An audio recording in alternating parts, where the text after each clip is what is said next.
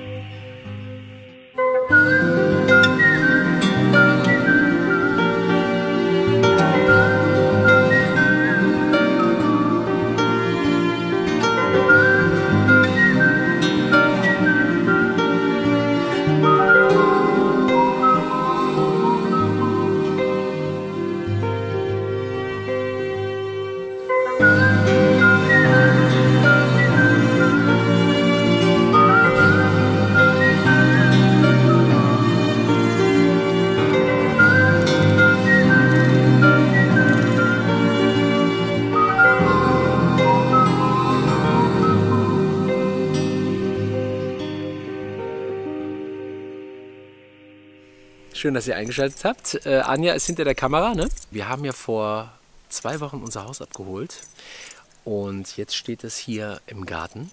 Wir sind sehr stolz, sehr stolze Tiny House Besitzer. Ja, lasst uns einfach mal reingehen.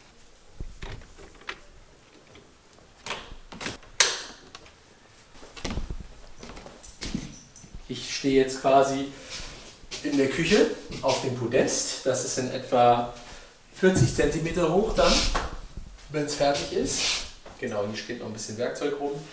Wir finden, es ist wunderschön geworden. Wir sind wirklich sehr, sehr, sehr zufrieden. Wir haben ja einfach viel Licht.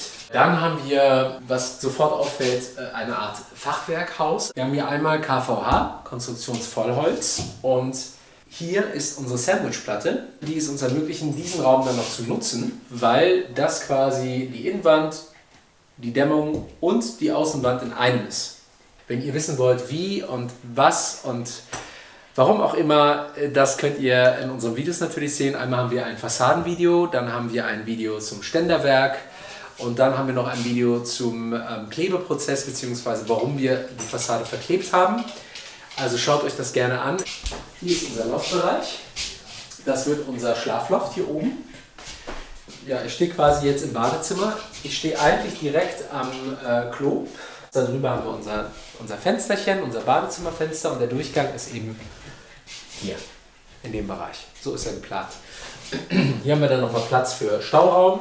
Also hier ziehen wir nochmal eine Wand und hier ist dann noch eine Wand. Und hier kommt dann die Dusche hin. Wenn man sich das jetzt nicht vorstellen kann, auch dazu haben wir ein Video gemacht. Und zwar unser Grundrissvideo, das könnt ihr euch auch gerne ansehen. Ich komme mir schon ganz blöd vor. Hier äh, kommt die Wand hin, hier wird die Wand gezogen. Und hier kommt die andere Wand.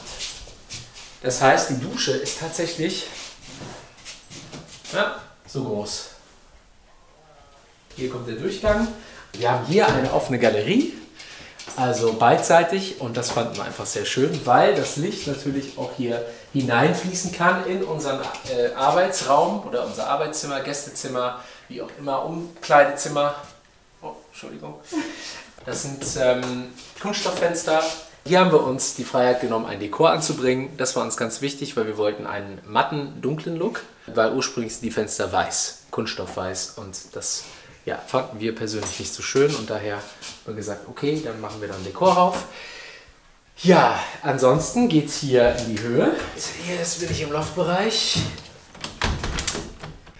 Sieht man hier auf unseren wunderschönen Balkon. Und außen ist dann die Regenrinne. Dazu kommen wir gleich nochmal. Auch die Fenster sind nach innen öffnend. Und wenn man im Bett liegt, dann kann man einmal zur Terrasse raus durch die Fenster gucken und hier durch das Oberlicht.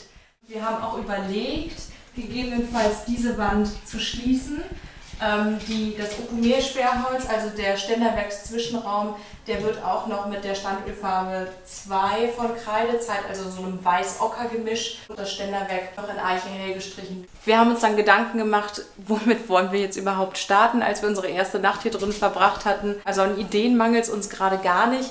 Die nächsten Schritte werden zum einen sein, die Loftplatte auszuschneiden und aufzubringen. Dann werden wir natürlich die Wände ziehen. Und das wird auch noch ein größeres Projekt, denke ich, sein, das Podest dann von 40 cm zu errichten und dann eben zu überlegen, wie groß sind die Schubladen, darunter wird sich ja Stauraum befinden, wie groß sind die, wie kann man sie ausziehen, gibt es zwischendrin vielleicht noch ein, zwei Platten, die wir nach oben hin öffnen können. Also den Fragen werden wir uns, glaube ich, so als erstes widmen.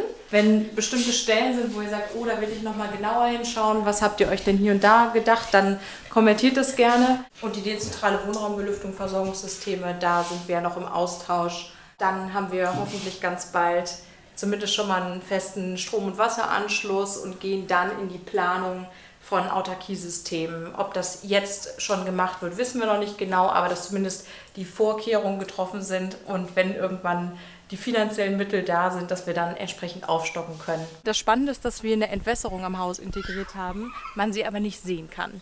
Heißt, hinter den zwei Verbundelementen läuft dann senkrecht ein Entwässerungsrohr runter an jeder Ecke des Hauses, dass auch auf jeden Fall Wasser abfließen kann.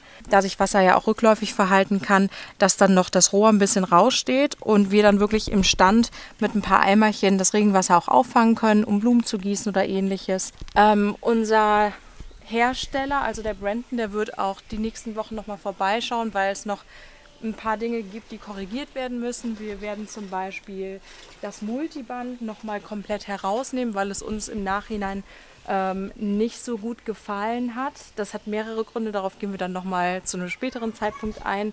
Das heißt, es werden Schattenfugen eingesetzt. Das Multiband wird also etwas tiefer eingesetzt. Das ganze Haus, die Terrasse wird natürlich noch fertiggestellt zumindest mit dem EPDM. Und wir bekommen dann noch eine komplette Blende um das gesamte Haus herum. Wir hoffen, euch hat der Rundgang gefallen, dass ihr ein bisschen was sehen konntet. nicht nur die Schweißperlen. Lasst uns gerne einen Daumen da. Wenn ihr den Kanal noch nicht abonniert habt, dann könnt ihr das jetzt gerne tun. Genau. Und, Und ja, ansonsten bis nächste Woche. Bis nächste Woche. Tschüss. Tschüss.